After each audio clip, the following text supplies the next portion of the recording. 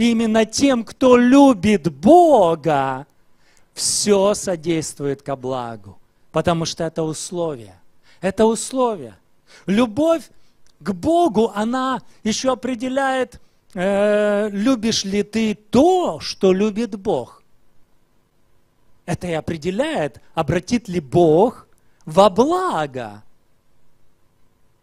для тем, кто любит Его, потому что любящие Его любят Его дела и любят то, что Он любит.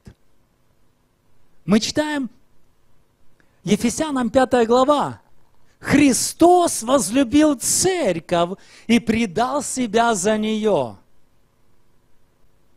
А как Христос возлюбил церковь?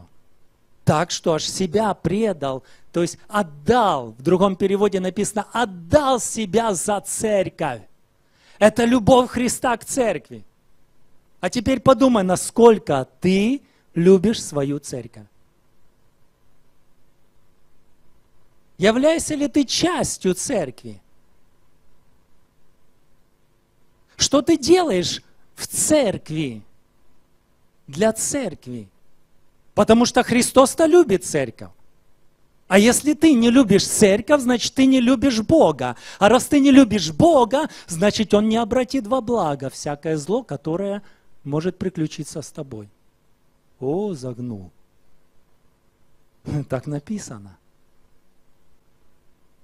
Любить Христа значит любить не только голову Христа, но и тело Христа. Потому что написано, Христос есть глава церкви, глава тела.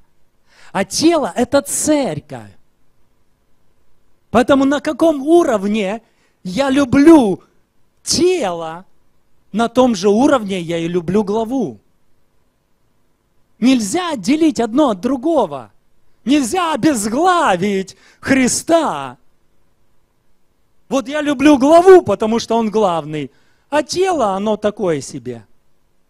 Всякое. Всякие тут мы. Разные мы такие вот. Не об этом.